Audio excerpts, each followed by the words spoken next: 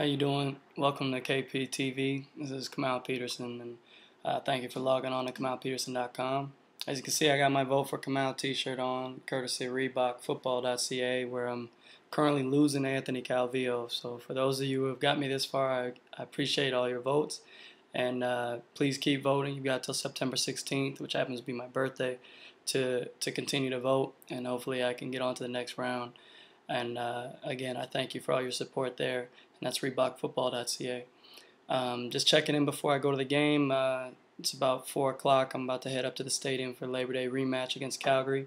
Um, the first match down there didn't go very well, obviously, and uh, it, we're looking forward to a little redemption. Hopefully, we can come out guns blazing. We got a new offensive coordinator this week, and Kevin Strasser. Well, not really new because he's been with us, but a new title for him and um, I'm excited to see what he brings to the table. And um, I know his body of work. I've been in the league when he played, when he was uh, offensive coordinator of Montreal, and uh, they were having a lot of fun moving the ball well. They had 4,000 yard receivers, and um, they were throwing the ball all over the place, and, and guys making plays. So I'm anxious to see. Uh, I'm anxious to see him bring that to the table here and, and get us moving in the right track, or capitalizing a little more than we have been.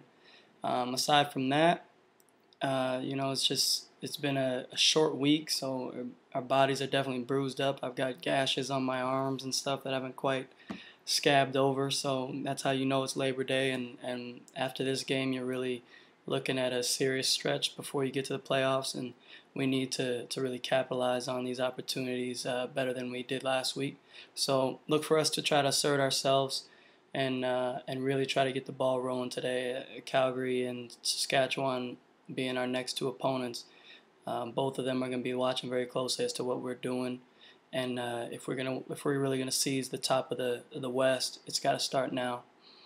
Um, so again, keep keep supporting, and I appreciate all the support you guys have given. Keep going to KamauPeterson.com and checking out my weekly blog there. Uh, also, the weekly blog at CFL.ca and uh, look for some new events. I'll be having some new auction events uh, for you collectors um, in the next coming weeks uh, that you may want to be interested in.